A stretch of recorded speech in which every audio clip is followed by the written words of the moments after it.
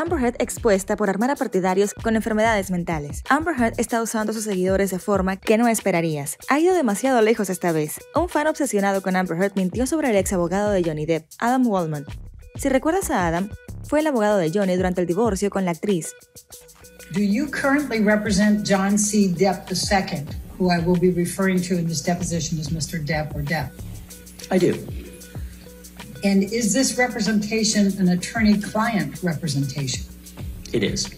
Pero fue retirado del caso de difamación porque aparentemente filtró algunas cosas que se suponían que el público no debía saber. Hasta hoy, ese es el caso y no creemos que alguna vez descubramos si realmente lo hizo o fue una trampa. De todos modos, una fan de Amber trató de arruinar su nombre diciendo que Adam los preparó.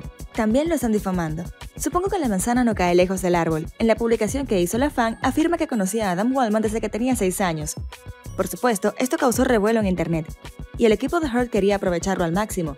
¿Es esta su forma de vengarse de Adam? Recientemente, la persona se retractó de su declaración y admitió que sufría de psicosis cuando hizo eso. Dijo que estaba delirando en ese momento y pensó que nadie notaría su comentario, pero de repente llamó la atención y se volvió viral. No sabía cuán malas fueron las consecuencias de sus acciones en ese momento, y puedes apostar, Amber lo aprovechó. La persona se disculpó impotente en Twitter, pero Amber Heard y su equipo no están prestando atención en absoluto. Incluso los contactó, pero no han respondido.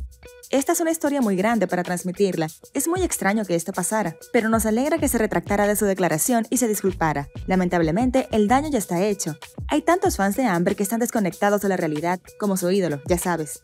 La mayoría de las veces tienen exactamente el mismo guion para desviarse de su historia. Lo que es realmente malo es que la mayoría de los fans locos de Amber Heard tienen grandes nombres. Son tan talentosos que pueden manipular cualquier cosa para seguir el camino de Amber. Qué desperdicio, ¿verdad? Como Eve Barlow. Es una gran periodista que ha difundido información falsa sobre Johnny, sus abogados y sus fans. También habló sobre trastornos mentales y encontró una forma única de culpar al actor por todo. El número de seguidores de Eve no es tan grande, pero está dispuesta a arruinar su carrera de periodista solo para apoyar a Amber. El karma la golpeó gravemente cuando la echaron de la corte durante el juicio por difamación de Depp vs. Heard. También está Christina Taft, quien programó un montón de aplicaciones y sitios web que hacían que Amber pareciera buena persona. Su mayor trabajo es el bot de conversación.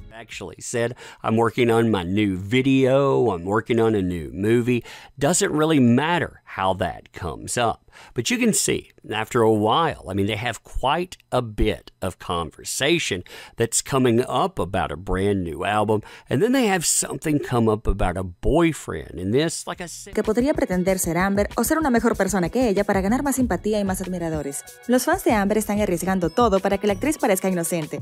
Es una locura. La están apoyando incluso con toneladas de pruebas de que en realidad es una mentirosa, y con el veredicto del jurado afirmando que es culpable de difamar a Johnny Depp con malas intenciones. Realmente lo siento por la mayoría de estas personas. Gracias por ver, asegúrate de ver nuestros otros videos. Adiós.